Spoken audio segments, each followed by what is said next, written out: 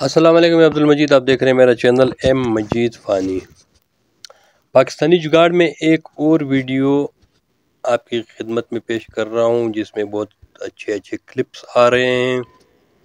اس میں فنی بھی ہیں اور کام کی بھی ہیں، جس سے آپ کچھ کام سیکھ سکتے ہیں، جس سے آپ دیکھ کر کوئی جگاڑ بنا سکتے ہیں۔ تو چلتے ہیں ویڈیو کی جانب۔ اگر آپ نے ابھی تک میرا چینل لائک سبسکرائب نہیں کیا تو پلیز مجھے لائک سبسکرائب ضرور کیجیے گا۔ تو چلتے ہیں ویڈیو کی جانب۔ کو دکھاتا ہوں کہ ویڈیو میں سب سے پہلے کون سا کلپ آ رہا ہے۔ سب سے پہلے آپ دیکھ سکتے ہیں کہ ایک بندہ ایک لکڑی کے پیچھے اور آگے موٹر سائیکل کی طرح کوئی چیز باندھ کر چلا رہا ہے۔ ایک یہ شاک افزر لگا ہے۔ موٹر سائیکل والا ایک کرسی پر ایک بندہ اس پر بیٹھ رہا ہے۔ یہ بھی کام کا جگاڑ ہے۔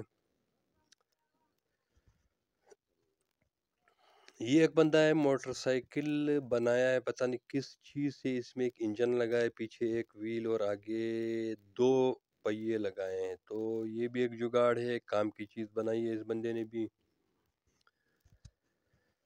اگلی ویڈیو میں کیا آ رہا ہے جب آ جائے تب میں آپ کو دکھا دوں گا یہ ایک فوکس کار ہے جو بہت پرانا ماڈل ہے اوہ یہ تو موٹر سائیکل کے پیچھے آدھی کار لگائی ہے یہ بھی ایک کام کا جگاڑ ہے خوبصورت جگاڑ بنایا ہے پیچھے کار اور آگے موٹر سائیکل یہ دیکھیے، ایک بندہ چلا رہا ہے پیچھے دو پہیے، آگے ایک پہیہ موٹر سائیکل کا، پیچھے سے کار۔ تو پیچھے سے کوئی کہہ نہیں سکتا کہ یہ آگے موٹر سائیکل ہوگا اس کا۔ یہ بھی زبردست جگاڑ بنایا بندے نے، زبردست کام کیا ہے اس پر۔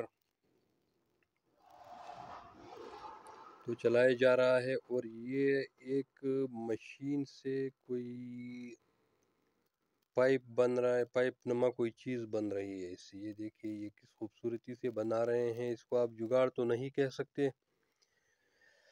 لیکن یہ ایک فیکٹری کا کام ہے، یہ بھی ایک خوبصورت کام ہو رہا ہے یہاں پر دیکھنے کے لائق ہے ایک ہتھوڑے کو اس کے دستے پر فٹ کیا جا رہا ہے، مضبوطی دی جا رہی ہے۔ اس سے بھی آپ کچھ سیکھ سکتے ہیں۔ اس ویڈیو کو دیکھ کر اور یہاں پر ایک سپرنگ بن رہا ہے۔ سپرنگ کس طرح بنتے ہیں؟ یہ ٹھوس لوہے کا سپرنگ ہے۔ کس طریقے سے یہ دیکھیے۔ اور یہاں پر دو پیپوں میں، دو پیپوں کا جوائنٹ بن رہا ہے۔ تو اس طریقے سے دو پائپ جوڑے جاتے ہیں۔ یہاں پر ایک چھری بن رہی ہے۔ اس کا ہینڈ یا دستہ لگایا جا رہا ہے۔ اس پر تو یہ بھی او یہ تو ایک مرغے، یہ بھی ایک زبردست جگاڑ ہے دیکھیں کیسے اپنے لیے دانے کھول کے کھا رہی ہے یہ اور یہ ٹریکٹر تو پیچھے ہی جا رہا ہے۔ یہ دیکھیے، یہ پیچھے کی طرف سٹائرنگ لگایا ہے تو میری سمجھ میں نہیں آ رہا یہ کس طرح چل رہا ہے۔ اگر آپ کو سمجھ آ گئی تو تو یہ رہی آج کی جگاڑ کی ویڈیو، کیسی لگی آپ کو؟ امید ہے آپ کو پسند آ گئی ہوگی۔ اگر آپ کو پسند آ گئی ہو تو پلیز مجھے سبسکرائب ضرور کیجیے گا تاکہ آپ میری آئندہ آنے والی ویڈیو دیکھ سکیں۔